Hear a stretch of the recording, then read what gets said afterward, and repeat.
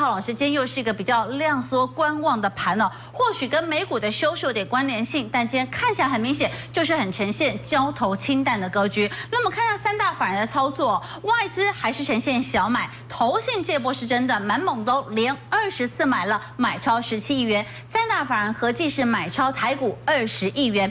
不过呢，我想请教阿浩老师的是，因为今天看起来指数整体的一个空间幅度表现并不大。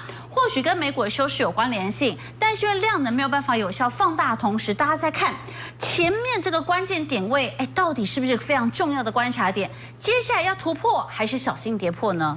其实，在今天的盘市，大家看了一整天，就最后那一盘最精彩，因为它很刻意的，就是往上拉抬了涨一点。哦，那就是很故意要去突破昨天的高点哦。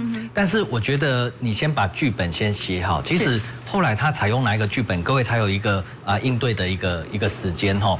那在这一个礼拜，我一直跟各位去报告，其实最重要的，他就是要来挑战八月二十四号的这一根 K 棒。那这一根 K 棒为什么重要呢？因为你从这个地方往前看，它一直量说只有这一天它是出量。对。哦，所以这一天的这个高点一六八二二，其实到今天收盘价的话，只差一点点。它要不要过，其实就是在于今天晚上的这个这个美股，它要不要去做一个表态。哦，所以我觉得八月二十四号的这一根 K 棒把它抓起来最重要。可是我们还是要提防一点，因为呃我们在操作的时候，常常有一种情况就是假穿头。就是说，它好像突破了前面的高点，但是它没有办法继续再往上攻，然后变成是真破底。所以我也帮各位去抓出来。如果说它一旦突破一六八二二的话，那千万就不能够再回来跌破这个一六五五一，不然的话就是之前我们一直跟各位去提到的 A、B、C，好，这个地方是反弹。照理来讲，你如果要 V 型反转的话，就要直接上去了。是。但是如果说你万一突破了前面的高点，结果又跌破一六六五一的时候，那就可能会在。后面的这个补跌的这一段，这个要特别去留意。好，那刚刚呢？哎呀，浩老师提到了，接下来的走势非常关键，就是要看今天哦交易的美股表现如何了。那因为最近 AI 股真的表现比较没有风哦，所以如果从纳指的一个走势，我们怎么来去判断接下来对台北股市到底有没有机会带来助力呢？对，其实因为这一段下跌啊，八月份下跌主要是纳指它带出来的，嗯，所以问题的关键还是在纳斯达克指数。那纳斯达克指数呢，我们看到哎这一段下跌好像过去这两个礼拜有出现了一个弹升，对，那。如果它出现这个唐僧的时候呢，我觉得有两个观察的重点。第一个就是在这个五周均线的部分哦，我们看的都是这个周 K 棒，看的是一个大架构哦。在五周均线上个礼拜因为站上，所以表现还蛮不错的。那昨天是休假休市嘛，所以今天晚上观察重点是在这个五周均线，它是不是能够持续在站上？那再来第二个观察重点就是。周 K D 这个 K D 值，因为它前面这一波跌下来，哇，已经跌破了这个五十。那如果说他要重返农药，重新再振作起来的时候，他必须要重新再回到这个五十以上。我觉得在纳斯达克指数这两个重点抓住了，应该八九不离十，就不会离离得太远了。好，那当然，因为近期的盘面大家都在等方向，哎，在等方向的同时，其实市场也会给予期待。期待是什么呢？因为毕竟进入到了九月份，大家会对于投信的做账，尤其最近头上投信哦，就是盘面里面最大连买的工程之一。哎，不过投信连买有一档个股，最近呢。投资人的一个疑惑真的是蛮多的，就是连电，哎，连电看起来投信有连买啊，而且都有买超的一个张数还不小，到底有没有机会来表态呢？这波下降压力线有没有机会突破啊？对，其实联电，各位如果去看这个投信的买卖潮，哇，这几天它通常都是第一名哦。那是不是有机会出现呢？呃，如果说在消息面的部分，其实大家可以自己去追踪一些新闻。那我这边帮各位去剖析在技术层面的部分哦。我记得在去年很多股票都跌得很惨，那时候有跟各位去提出来有一个叫做反弹三部曲。是。那帮各位去复习一下，其实套用到联电上也还蛮好用的哈。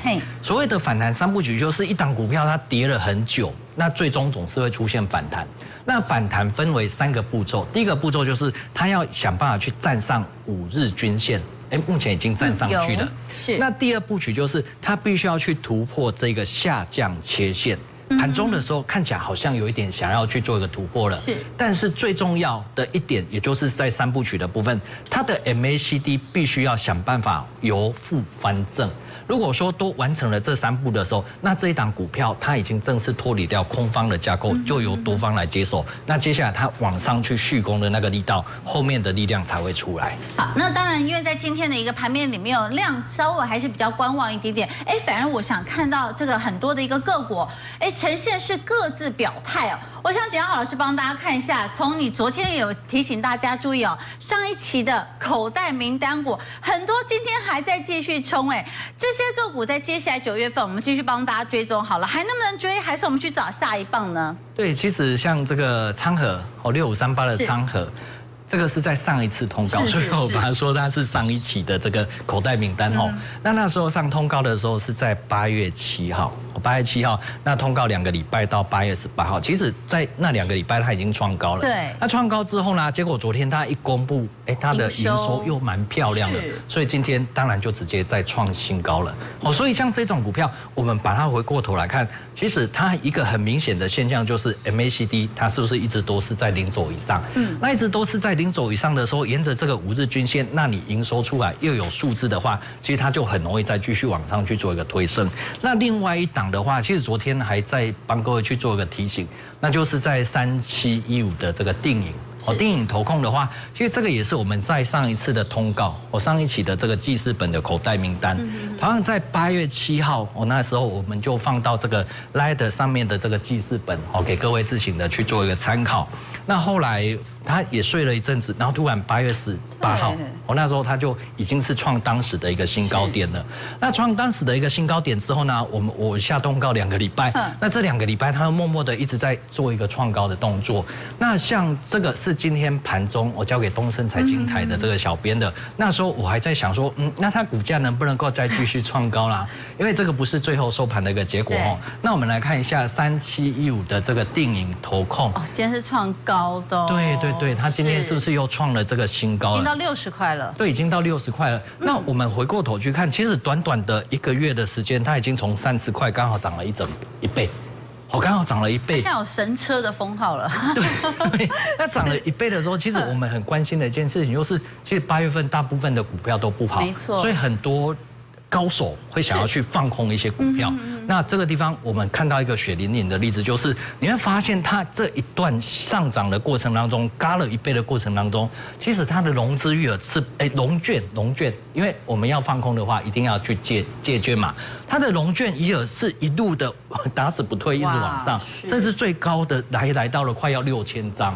可是这六千张你回过头一看，全部都被嘎了一倍。嗯所以我还是在这地方提醒我们的一个观众朋友。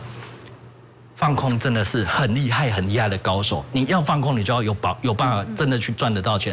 不然的话，一旦你去空到一些有特定人在照顾的一个股票的时候，很不巧的，你看这样子，至少就是一倍，我被人家咬走、被起掉的时候，其实这对操作的本金也好，甚至操作的信心也好，其实是很大的一个伤害。好，那因为包含了像我们刚刚看到的电影投控了，还有枪盒，哎，这都是老师提醒大家上一期哦，提供给大家口袋名单，大家想知道还有没有接棒的呢？能不能复制成功模式？对，当然那个都是上一期的口袋名单。那我们在这一次通告，我们也不例外的哦，已经把本期的这个口袋名单啊，我们已经把它。它放到记事本上面了。那我就举个例子，比如说像这个二三六八的金项店，其实在上一期的时候，它也是我考虑的一个重点。因为上一次我们看八月七号嘛，结果它到八月十五号的时候，其实已经已经表态了。对。但是我这一次为什么会把它选进去呢？因为你看，从八月十五号这两个礼拜，它整整就是在这地方盘整了两个礼拜。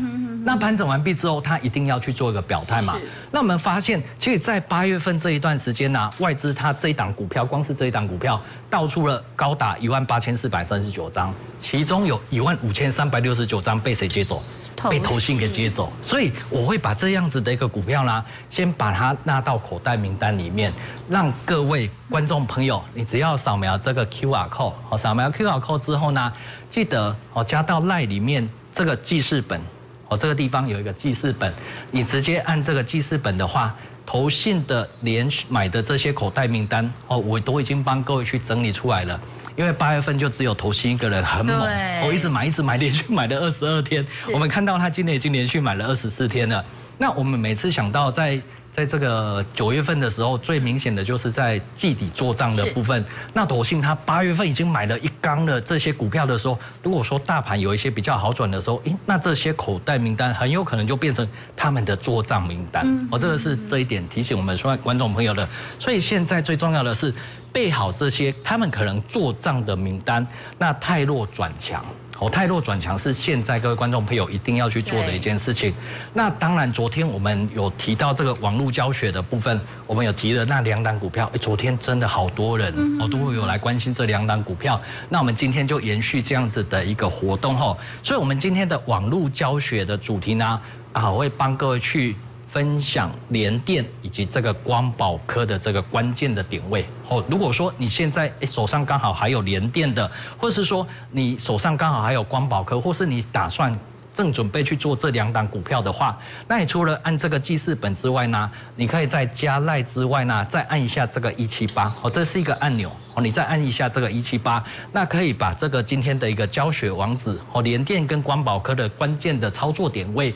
把它传送到手机里面，各位不妨去做一个参考。好，这波阿浩老师特别提醒大家喽，因为这个盘哦，虽然说有点整理，但是呢，投信的连买也是事实。现在如何备好投信连买的做账名单，等待大盘还有转加的一个时候，他们来做表态。这些呢，太弱转强的关键操作，都会在阿老师赖群组里面提供给很多投资朋友做进一步检视手中持股一个非常好可以参考到的方向喽。